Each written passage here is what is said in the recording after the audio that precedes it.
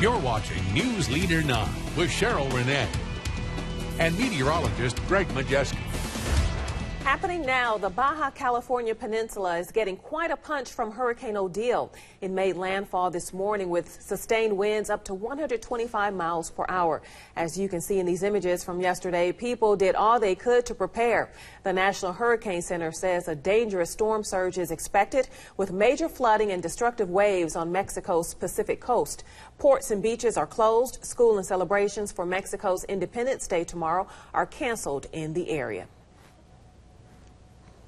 Good thing we're not dealing with anything Yeah, like that. Nothing like that, but for the folks in the southwest that have been pounded with a lot of heavy rains, they're going to have some more out of this as this thing continues to move off toward the north. In fact, let's go ahead and show you the latest satellite imagery of Hurricane Odile here as it's continuing to move off toward the north. You see where it kind of made landfall down near the tip, moving now into the Gulf of California right now, and all that moisture is going to get drawn right up into the southwest, so uh, places up toward Arizona, New Mexico, uh, looking at uh, the flooding potential with the leftovers of that. We also have another hurricane out here. This Hurricane Edouard here out in the middle of the Atlantic. Not a player because there's a cold front moving in, and it's going to take this storm system and curve it right back out to sea. I'm highlighting this because this one could become our first major hurricane of the season, of the Atlantic hurricane season, I should say, with a Category 3 storm, but it's going to quickly move on up into the North Atlantic and not be a player for anybody along the eastern seaboard. So continue to be some good luck there across the um, eastern seaboard and the Gulf of Mexico for the hurricane season.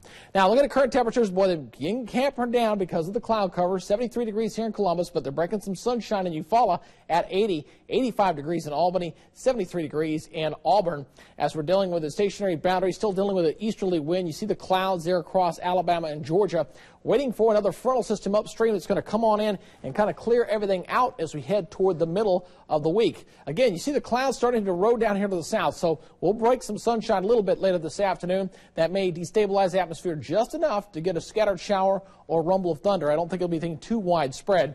Futurecast is showing this for today. Anything we see won't be too widespread for today. And then the rain chances will start to go down as we head into Tuesday. This is a frontal system back here to the north. This is going to actually come on in and sweep everything out. And Wednesday looking pretty good. In fact, not only Wednesday looking great, I think heading into the weekend, we're also going to be looking at some pretty good weather and definitely feeling a little bit more like fall. Let's go ahead and break it down by the zones. Yesterday's high was officially 90. Now, I'm hoping that's the last time we see that for the rest of the season as things begin to cool off now.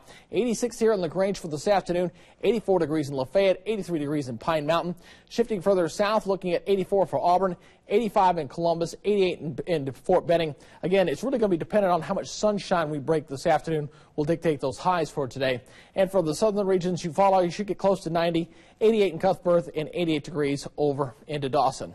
Looking at the next seven days, looking at that 40% chance of rain for today, 30% for tomorrow. It looks like predominantly south for tomorrow, and then we're going to see that cooler weather move on in. Upper 60s for lows Wednesday morning, not bad, with a daytime high around 86. But check out uh, Friday especially, looking at a morning low down to around 63, 62 on Saturday morning. Daytime highs expected in the lower to mid 80s. Going to feel quite refreshing as we're kind of getting our first you know, kind of taste of fall. Of course, we're about a week away from the official beginning of fall, which is, of course, September 22nd. So just a little taste. Just a little taste, almost there. All right. Thanks, Greg. Well, have you pre-ordered your new iPhone?